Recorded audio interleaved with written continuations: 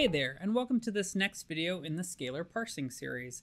This video is going to be around regular expressions, and regular expressions are the foundation of parsing, so it's really critical that either you have some familiarity with regular expressions as you're building parsers, or you take a look at some of the resources that we're going to provide um, to help you along the way. So this video is going to cover two things, and the first thing is going to be um, understanding how Scalyr differs from standard regular expression libraries.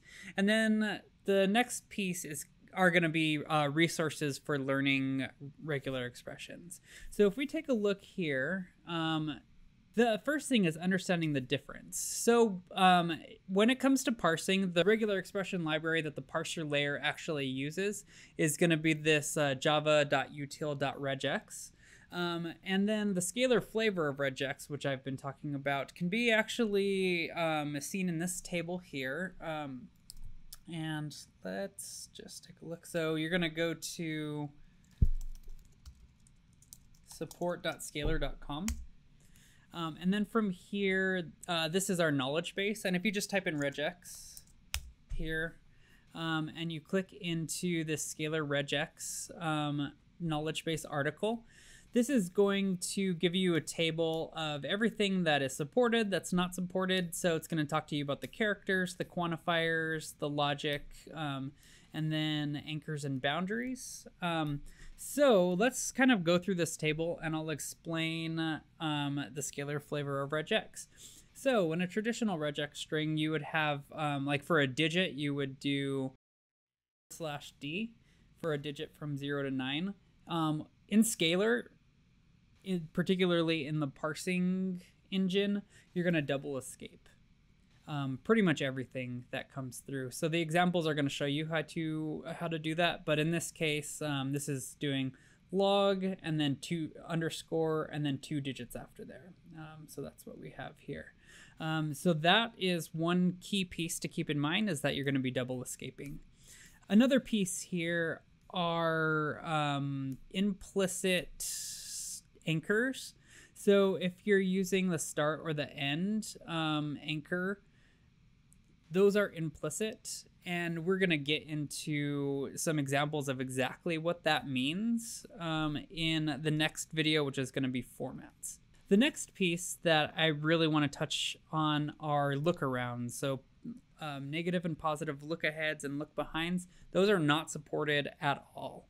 Um, so support for those have been completely deactivated, and that is just due to um, performance implications. Um, for every parser that I've ever done, um, lookarounds are not necessarily required. Um, you could do some things with lookarounds, um, but we have enough tools available to us to um, kind of bypass those in a more performant way. So that's why lookarounds are not supported. All right, so that's um, understanding how Scalyr differs from like a standard regex library. The next thing I'm going to talk about are some resources for learning regex, and um, really what you can do is you can just take a look at the um, description, and there's going to be a couple of links there. So the first resource that we're actually going to take a look at um, is regexr.com. And this is just a regular expression testing engine. So in this case, let's take a let's take a standard regular expression example and let's match phone numbers. So let's do 800 dash. Um, and let's write a regular expression to match that. Um, so that's looking for a digit. Um, and in this case, we're going to do um, just like a just a standard matching pattern.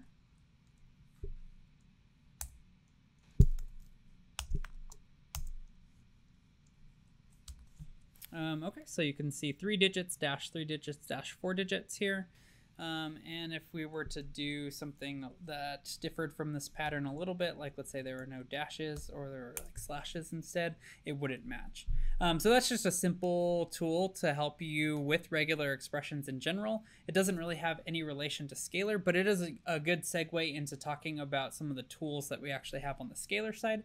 So the other tool that you have on the Scalyr side is if you go to scalyr.com slash help, into our documentation and you go into the main parsing documentation, which is here, uh, into log parsers.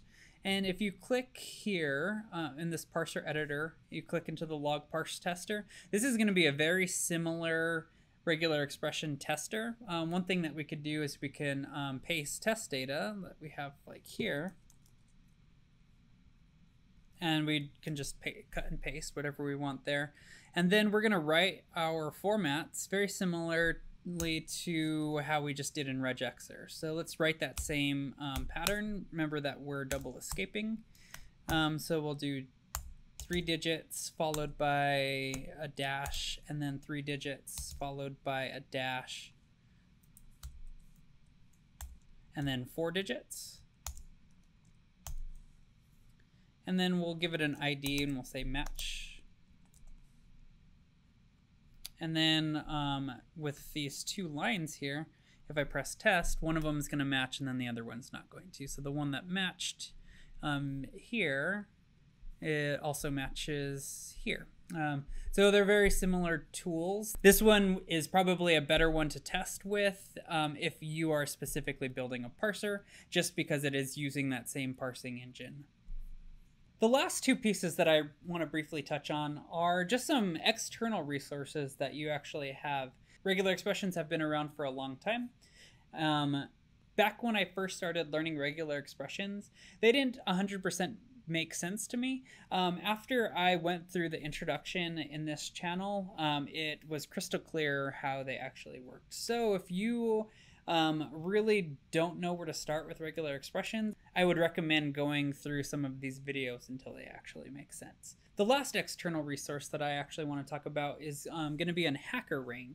If you just want some practice, there are some really good challenges in here that will help you increase your regular expression skills, and they um, start off easy and then they can get um, significantly more difficult. So those are just a few resources that we have available to us um, in terms of learning regular expressions. Um, so thanks for joining this foundational video into parsing. The next video we are going to hit the ground running with formats.